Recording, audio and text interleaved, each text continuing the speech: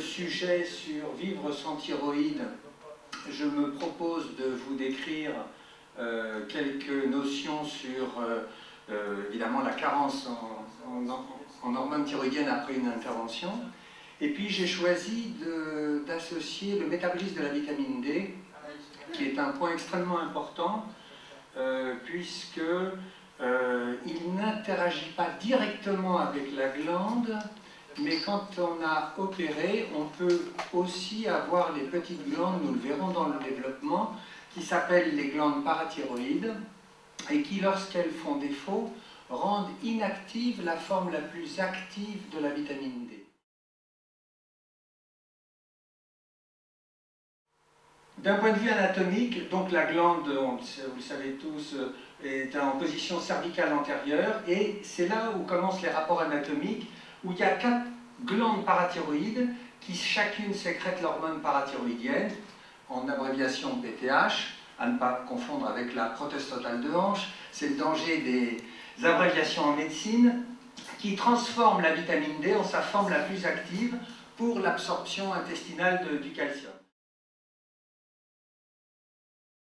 Des circonstances particulières, c'est-à-dire, on sait bien qu'après un traitement par diode radioactif, une chirurgie thyroïdienne, une irradiation cervicale, une hypothyroïdie auto-immune, une thyroïdie du postpartum, les affections auto-immunes d'organes, les médicaments, où toute une pléiade de médicaments sont responsables d'hypothyroïdie quand la glande est encore anatomiquement présente, et euh, l'hypothyroïdie pendant la grossesse, et euh, dans tous les cas, ça fait partie d'un examen où on peut retrouver un goitre à l'examen clinique.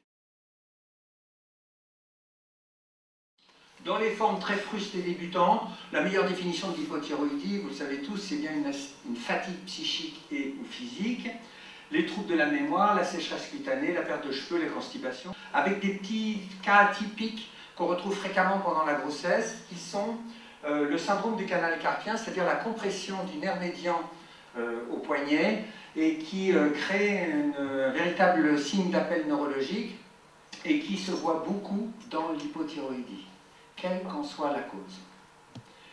Le syndrome dépressif, les troubles du rythme et l'infertilité, en effet, dans beaucoup de cas où il y a eu des explorations pour une infertilité, on peut retrouver euh, une hypothyroïdie qui est passée méconnue, qui était méconnue, et euh, l'hypothyroïdie euh, donne une dysménorrhée et peut être responsable d'une perte des règles, donc, et la substitution du traitement manquant, les hormones thyroïdiennes, restitue la, la régularité des cycles.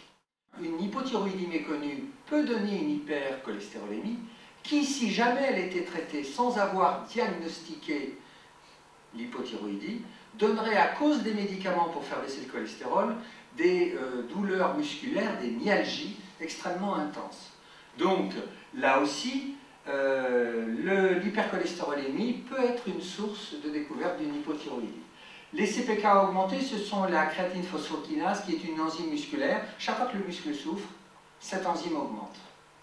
L'hyponatrémie, ça c'est une chose moins connue dans la pratique médicale euh, courante, c'est-à-dire qu'en fait l'hormone thyroïdienne, elle contribue à inactiver une hormone qui retient l'eau, l'hormone antidiurétique. Et si nous avons une hormone qui contribue à, diminuer la durée d'action de l'hormone qui retient l'eau, eh ben on aura beaucoup plus d'eau retenue, d'où une dilution et une hyponatrémie et qui sont restituées quand on corrige par le traitement. Enfin, une anémie est une, et se voit fréquemment lors d'une euh, hypothyroïdie non substituée. Donc on a, euh, bah, j'avais déjà donné, à l'écran musculaire, les myalgies, la fatigabilité musculaire, les paresthésies des extrémités.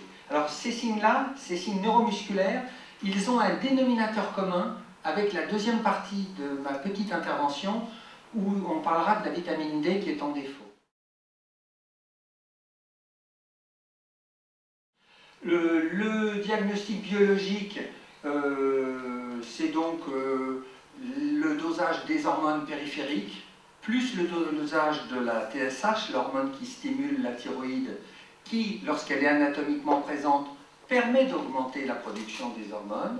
Mais lorsque la glande a été retirée, lors d'une thyroïdectomie, cette hormone hypophysaire continue à exercer son action, est un très bon indice d'imprégnation en hormones thyroïdiennes de l'organisme. En d'autres termes, si j'ai pas assez d'hormones thyroïdiennes, ce stimulateur va augmenter.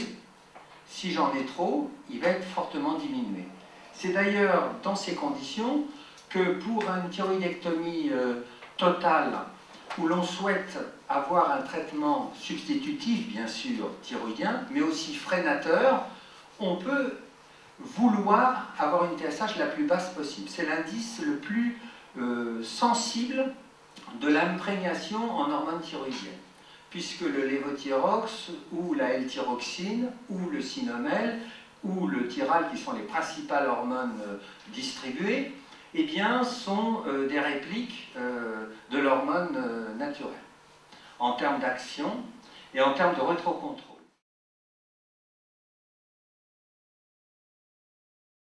il y a des médicaments qui interfèrent avec la transformation de la TK33. Alors juste pour un rappel, les hormones thyroïdiennes, les numéros sur le T veulent dire le nombre d'atomes d'iode par euh, molécule d'hormone thyroïdienne. L'hormone la plus représentée, c'est la T4, la plus active, c'est la T3 et la T3 est fabriquée par la glande thyroïde et la T4 par la glande thyroïde, mais en périphérie, la plus grande quantité de T4 est capable de se transformer en T3.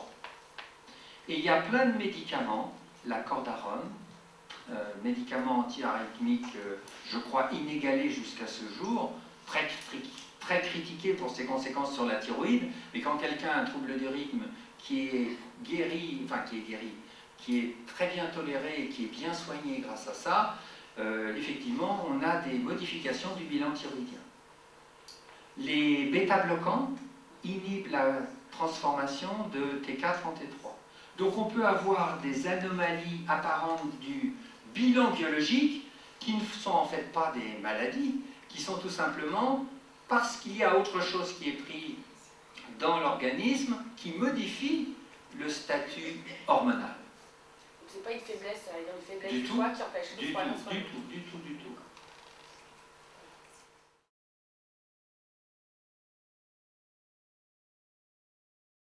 Faut toujours tenir compte de deux choses.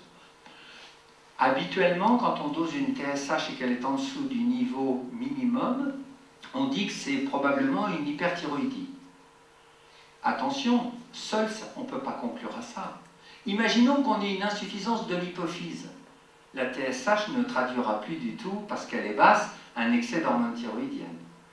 Donc, pour pouvoir conclure, il faut toujours avoir le stimulateur de la glande thyroïde TSH, thyréostimuline hormone, hormone qui stimule la thyroïde, et avoir le dosage de l'hormone euh, soit fabriqué par la glande thyroïde, soit apporté par euh, le médicament qui substitue la fonction euh, qui n'est plus là, enfin la fonction thyroïdienne. Donc euh, il n'y a pas de chiffre.